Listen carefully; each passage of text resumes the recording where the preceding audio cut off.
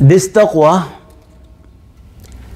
is in fact needed for our worldly betterment as well. Last time I had said that to bring taqwa in our life, we need to sit down and think about Allah subhanahu wa ta'ala, the authority of Allah subhanahu wa ta'ala, and the harms, the benefits of obeying Allah subhanahu wa ta'ala, and the harms of disobeying Allah subhanahu wa ta'ala. Generally, to make it easy to understand, and all these muraqabat, all these uh, lines of thinking are driven from the Quran. The first thing which is easiest for people to understand is the world, which is dunya right here in front.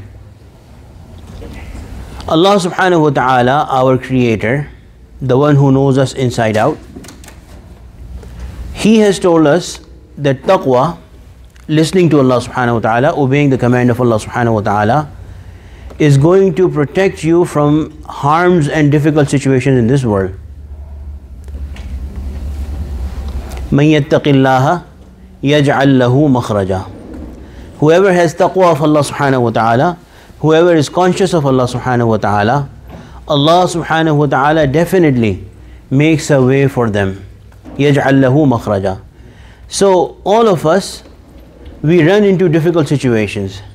We run into hardships but the people who are mindful of Allah, who have Allah on their mind, and who are working to please Allah, for them Allah Himself is promising that I will make an, a way out for them. And not only make a way out for them, rather, not only protect them from the harm, but also provide for them. So, not only pushing away the negative or the harmful, but also Allah will give us the beneficial وَيَرْزُقْهُ مِنْ حَيْثُ لَا يَحْتَسِبْ Allah subhanahu wa ta'ala provides for them. Not only does Allah subhanahu wa ta'ala protect them, but Allah subhanahu wa ta'ala provides for them from a place where they never expected. يَرْزُقْهُ مِنْ حَيْثُ لَا يَحْتَسِبْ Allah subhanahu wa ta'ala provides, Allah is providing, Allah will keep providing for such a person from a place where they didn't even expect.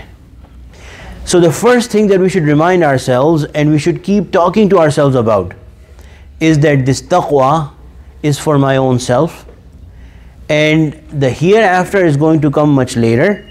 And a lot of times we have a hard time thinking very vividly or having a very vivid concept of uh, the hereafter. But the first thing which we can very easily all do is think about the worldly benefit which we keep on doing all the time generally. Taqwa, being mindful of Allah, being worried about doing something, being scared of doing something that will displease Allah, and being worried about pleasing Allah all the time. This is a very beneficial thing. Allah subhanahu wa ta'ala protects from all worldly harms, and Allah subhanahu wa ta'ala provides for such people from a place where they didn't expect. And if you think about it in our lives, how many times has it happened that we were stuck and Allah subhanahu wa ta'ala found a way for us? Allah subhanahu wa ta'ala made a way for us. Similarly, we were expecting that we will, we do not have rizq, we do not have provision, we are waiting for Allah subhanahu wa ta'ala to provide for us from a certain direction. Allah subhanahu wa ta'ala provides from somewhere else in a much better fashion. All of these are the blessings of taqwa, having Allah on our mind. Secondly, we should think about the hereafter. Because as a Muslim, it is our belief, it is a very real thing. It is not a fairy tale, it is not something that is in the air. No, it is very real. We see people passing away around us all the time. We hear that certain, certain such and such person, although they were young, they passed away. Very young child, youth, old people, all of them, all of us, everybody has to go from this world. Whoever has come has to go. And their hereafter starts right away. The people who live their life with Allah on their mind, thinking about Allah, talking to Allah, having an active relationship with Allah subhanahu wa ta'ala, Allah subhanahu wa ta'ala has called them awliya Allah. These are my friends. These are my close friends. Imagine we are going to end up in our grave. Who will be there? All the friends and all the relationships of this world have to be severed. Our own children, our brothers, and our parents will, with their own hands, very willingly and very gladly, put us in the grave, will not want to keep us with them anymore. And there will be no one there.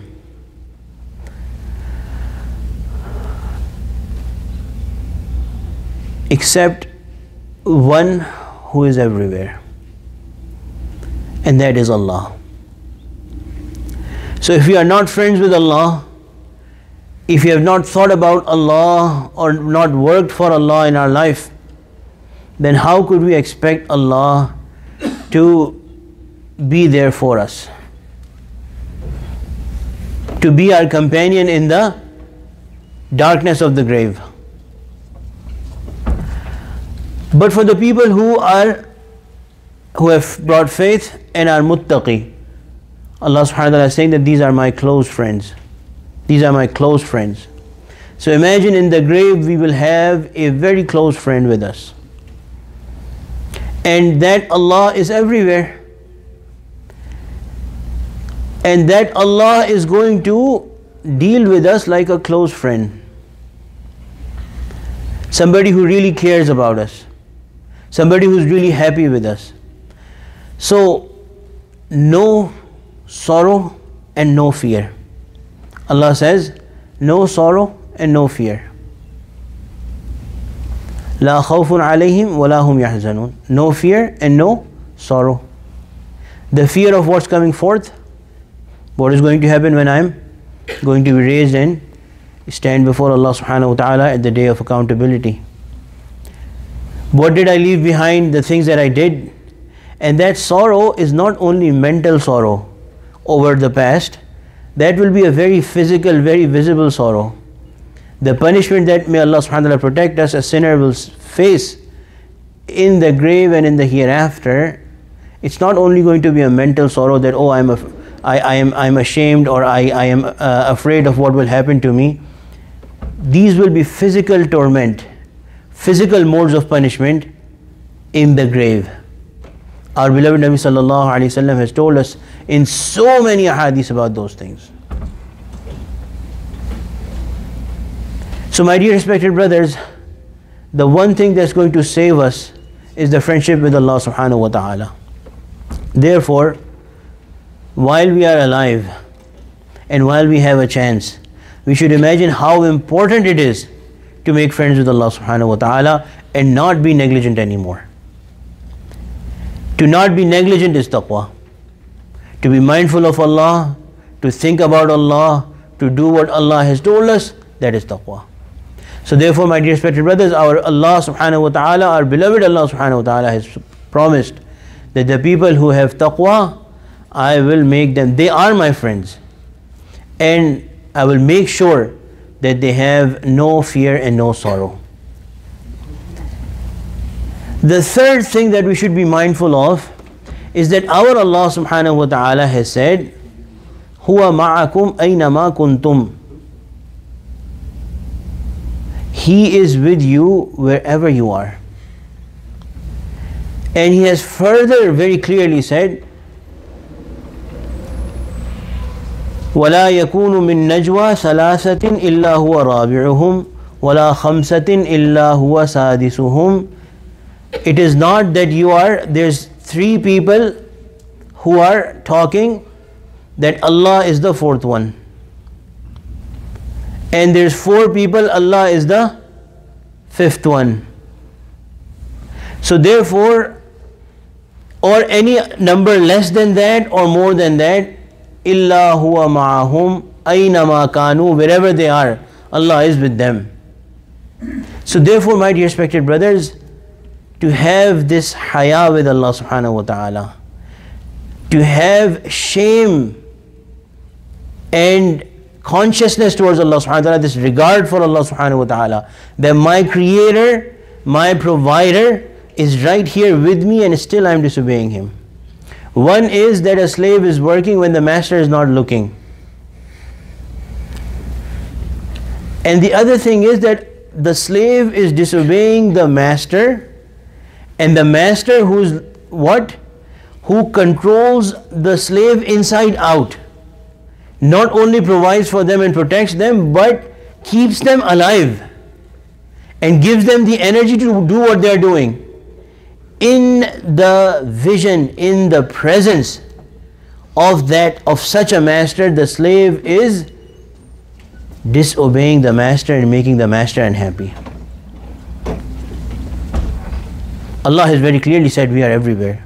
I am there. So, if we think that Allah is not everywhere, then that takes a very basic concept that ensures our taqwa away from us.